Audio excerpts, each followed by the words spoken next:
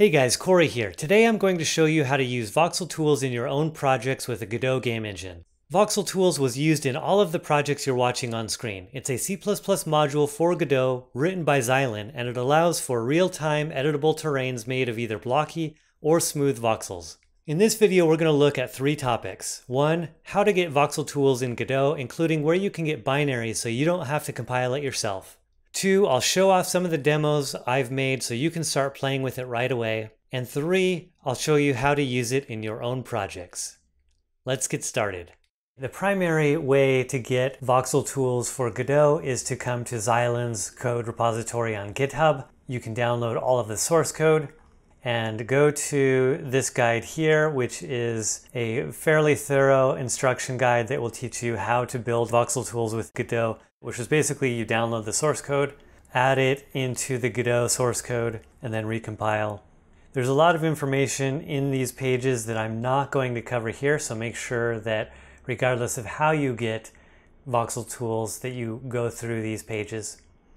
If for some reason you don't want to or are not able to compile Godot, you can download my pre-built binaries on my website.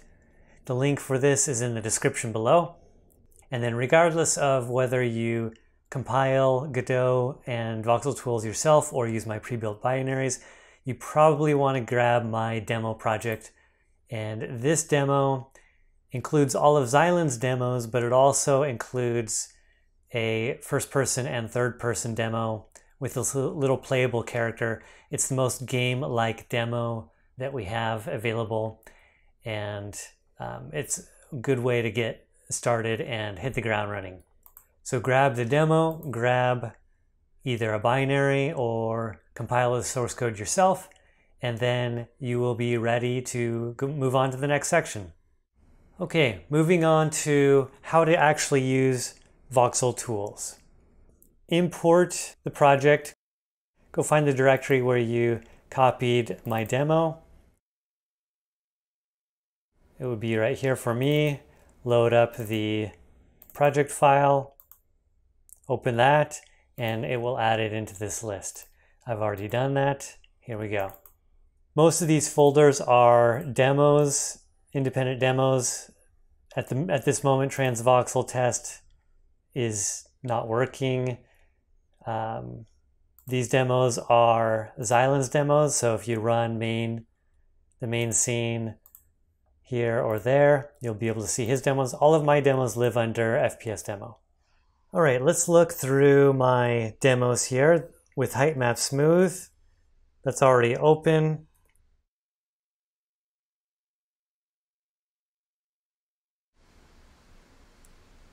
Controls, I have W, A, S, and D to move the character around. I can change the angle of the gun I can shoot with the left mouse button, and that will add terrain.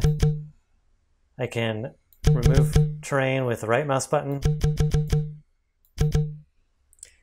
If I hold down control and then click, I get these bouncy balls that grow over time. If I press F, I'll get a full screen. I can use tab to turn on and off my display. Spacebar will jump.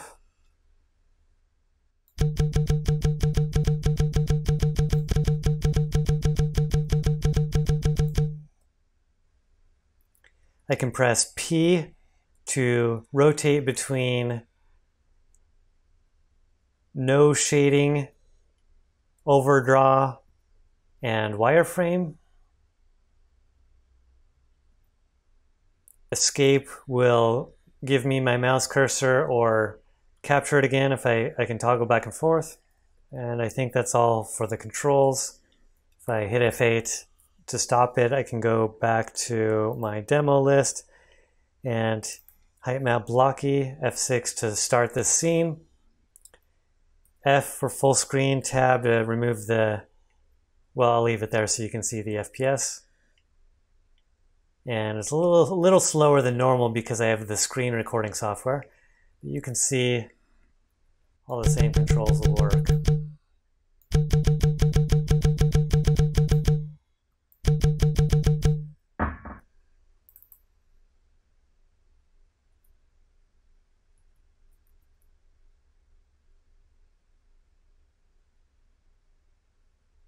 There's some artifacts there on the lower levels of detail that haven't been ironed out.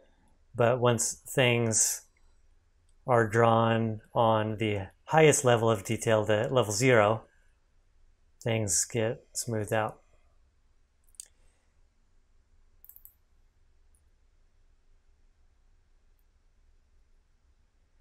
And here is the noise world.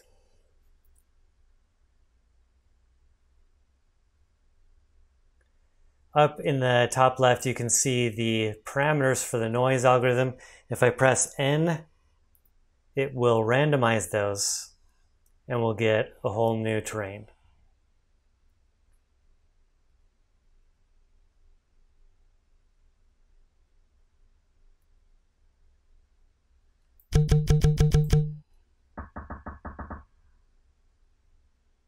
And Custom Stream here shows two features. One is it'll show a data source that was written in code, actually written in GDScript.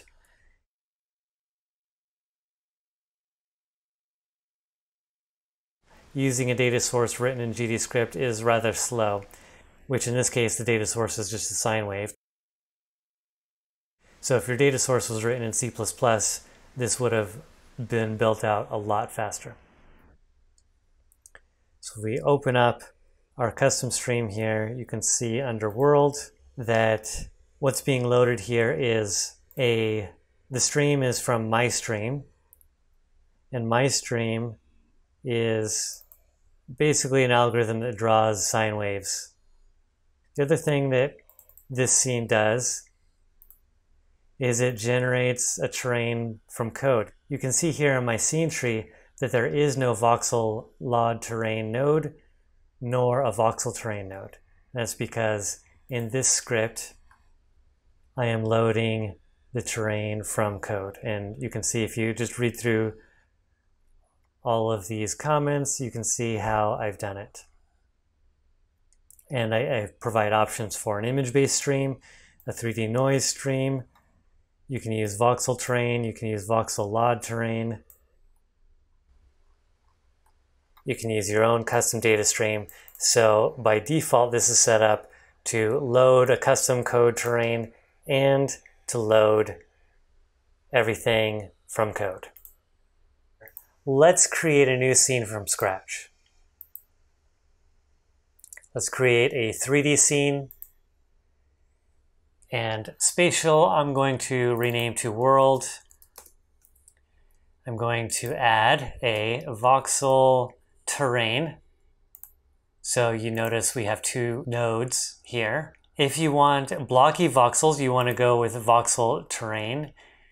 And you can do smooth voxels with voxel terrain. However, you're pretty much going to want to use voxel LOD terrain most of the time. Once I have a voxel terrain in here, I can insert a stream. If I wanted to do a height map, I could do a voxel stream image. And clicking on this again will give me the option to insert a new image. So if I go load one, I know that under blocky terrain, noise distorted is a height map. Now this image has got to be imported properly. So it already has been, Let's go find this picture. If I look here, notice it has been imported as an image. By default, when you add an image, let's look at these textures. So this picture has been imported as a texture. So anytime you add in an image, whether it's JPEG or PNG or anything like that, it's going to automatically be inserted as a texture but for a height map, we need it imported as an image. So you'll have to come in here, select image, and then re-import, and it's going to want to save and quit and restart the editor. So I'm not going to do that for this because it's actually a texture.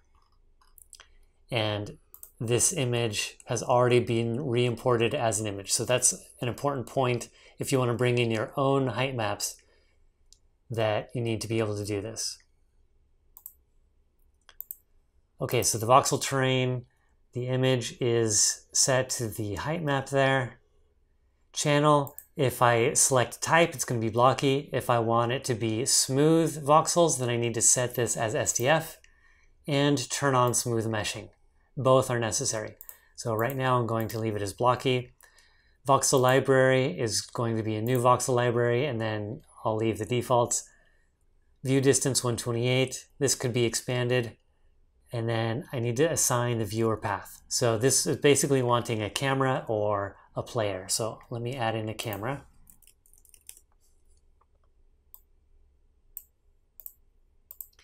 And then let's change the viewer path to camera. Generate collisions is fine to leave on as the default. And that is all we need. So let's play the scene. And let's go ahead and save it. I'll save it as test. And there we go. We have our train, except the camera is below the train.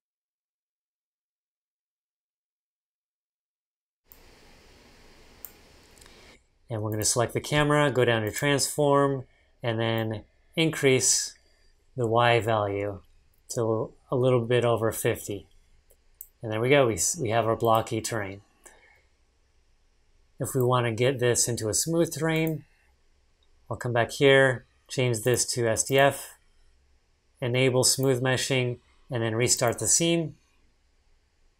And there we go. We have our smooth terrain. Let me rotate the camera around so we can see this a little bit. Okay, so you see what's going on with that hill there? It's clipping. So let's go back to the camera. Oh, we're still on the camera and we're going to adjust this far clip here, which is only set to 100. I would set it to at least 1000 for on my computer setting it to 8K is just fine.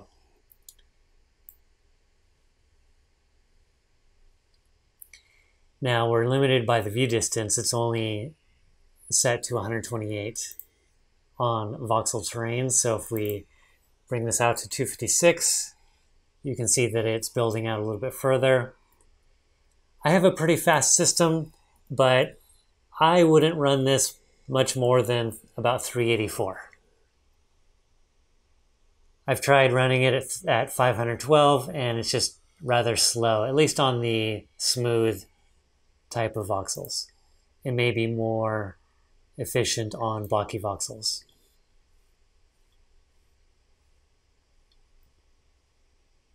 Okay, so that's about it for voxel terrain. So let's get rid of this. And now we'll add in a voxel LOD terrain. LOD stands for levels of detail. For a stream, again, I'm going to choose image. I'll click on this again. Then I can go load the image, which is under blocky terrain, noise distorted. Channel, uh, I don't think this works on type, which is blocky. Yeah, I didn't think so. So channel needs to be set to SDF. So we get smooth. Let's see, view distance, levels of detail, count, and split scale. Those are fine for now. Let's assign the camera. And the rest is fine for those defaults. There we go our height map has been created. And we're still using the these default settings for the camera that, or the, the settings for the camera that I had put in before.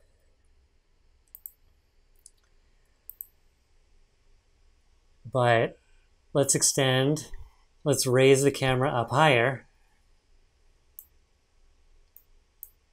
And then rotate the X in the X direction. Now, one of the reasons why we want to use the voxel LOD terrain is because it allows for a far greater view distance and much higher performance. So if I increase this to, let's say 1024 and bump this up let's say to 6, you can see already we've tremendously increased our view distance.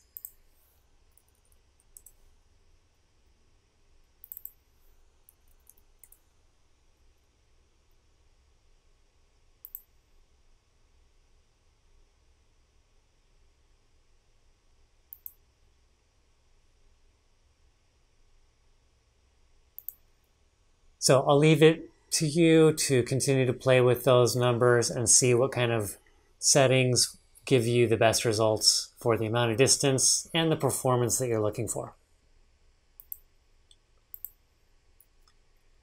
The next thing I want to look at is changing the stream. Let's get rid of the height map and instead choose voxel stream noise. Under noise, I'm going to click on new open simplex noise. I'll click on this again. So here's where I can set all of the settings for the noise algorithm. Let's go ahead and run this and see what we get. Okay, the default settings for the noise leave us at a much higher plane, about 200. So let's move this up. Now, you may be wondering why my window keeps popping up here on the left and the top, and your window probably keeps coming up in the middle. Let me show you how to change that real quick. If you go under Edit, Editor set Settings, and then Window Placement, I've got it set to my top left. That way I can keep this window open. The other thing I can do is under Editor and Editor Layout, I've saved an editor layout where all of my windows, the file system, the inspector, node, scene, import, are all on the right side.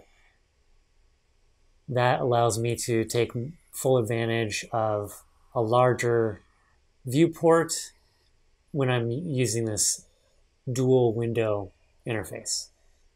Okay, let's go back to Voxel Terrain and adjust some of these settings. So if I increase the period, you can see that gives me a different type of noise. And then I can also increase the height range.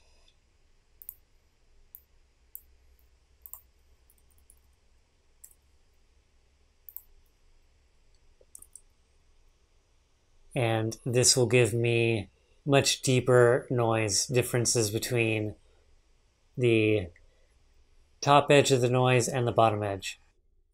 You probably noticed that the default lighting environment in Godot is not very attractive. So in my next video, I'll show you how to set up a nice outdoor environment so you can turn drab into fab and get some reasonable looking terrains. Okay, so I've shown you guys how to get Godot either from the source code or my pre-built binaries. I've shown you the documentation that I highly encourage you go through all of it and read through it so you can learn the tips and tricks, including performance tips, and other factors that I did not include. If you like this video, I'd really appreciate a thumbs up. Make sure to subscribe to the channel if you're not already. And follow me on all of my social media channels YouTube, Facebook, Instagram, Twitter. If you want to join my email newsletter on my website, there's a section right over here. So that's available to you as well. Thanks for watching, and I will see you guys next time.